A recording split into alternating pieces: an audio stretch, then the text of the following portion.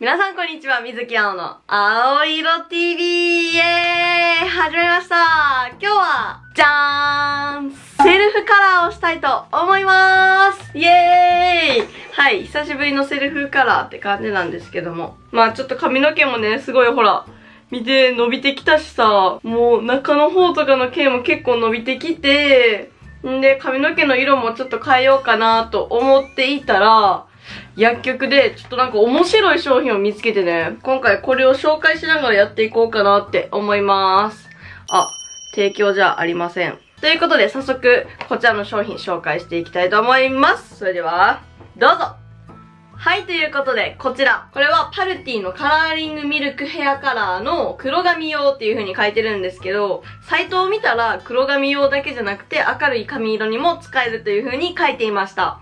で、カラーは夢見るブルーベージュを買いました。今回はちょっとなんか暗めの色にしたいなと思ったんで、この色にしてみました。後ろにはこんな感じで明るい髪、やや明るい髪、暗めの髪って書いてるけど、私は色的には明るい髪に入るんかななんかグレーベージュっぽくも見えるけど、まあこんな感じにね、なるみたいです。で、このカラー剤の面白いところは、これ泡カラーでもなく、こうなんか塗るタイプでもなく、こっくり乳液らしくて、乳液と思って、それにすごい気になって購入してみました。で、なんかトリートメント感覚ですごい塗りやすくて、量もたっぷり入ってるみたいです。めっちゃ可愛くない？このケースが、マジで。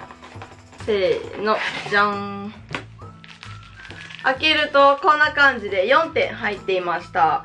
これがオキサイドウォーター。説明書この中に手袋も入ってるんかな。ヘアトリートメントパルティヘアカラーということで早速まず説明書の方を開けていきます。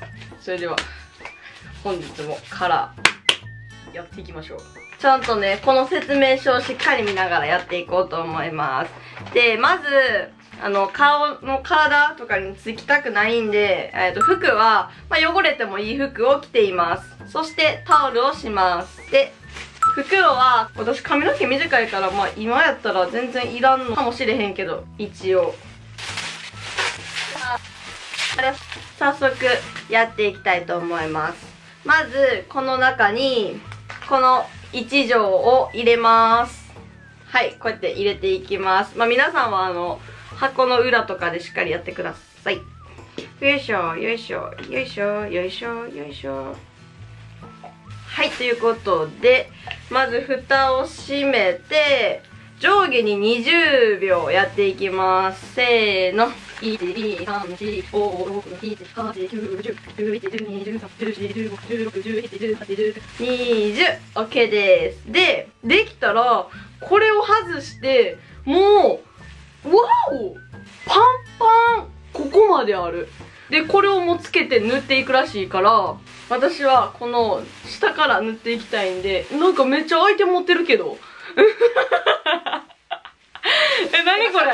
いつの間にやねんけど。下からねやっていこうと思います。まずは半分に分けます。うわ手袋しながら髪の毛くくったらなんか髪の毛すんごい痛いんやけど。じゃあ下の部分からやっていきますね。めっちゃいい匂い。なんかカラー剤の臭さがない。しかも見てなんか牛乳みたいねんけど。いや牛乳じゃない。ほんまに乳液みたいや。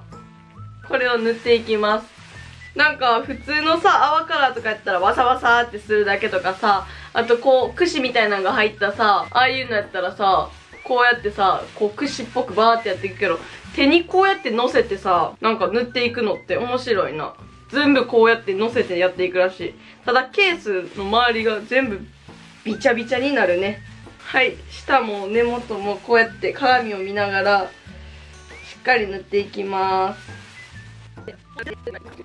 この耳の後ろも大事やからね。耳の後ろも塗っていきます。で下がしっかりできたら次。またこんな感じで少し出してここでまたお団子してでまたこの部分をたっぷり塗っていきます。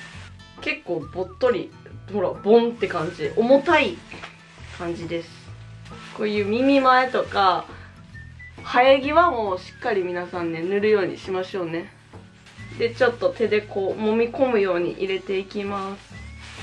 手のひらとかを使ってこうやってしっかり揉み込んでいきます。あ私のねやり方なんでねいつも。なんかこういうセルフカラーの時ってさ生え際からやりましょうみたいな書いてるからさ私よく生え際からやってたらさもうめちゃめちゃ逆プリンになっとってさそっからもう生え際からやるのはやめました。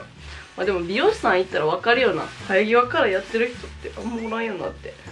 でできたらはい少しまた出しましてでまた上で留めておきます。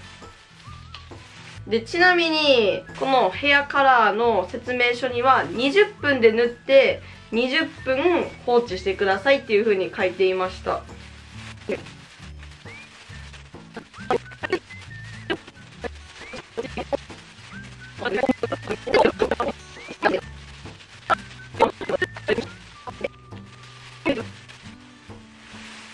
よし、オッケー。まだ全然残ってるけど、全部なんか出すのってむずいな。最後の方のさ、やつ出すの難しいわ。だからもうこんな感じで終わろうと思います。はい。ということでね、ちょうど20分ぐらいで濡れたんで、あと20分このまま放置していこうと思います。よいしょ20分待機2スプラトゥーンするわ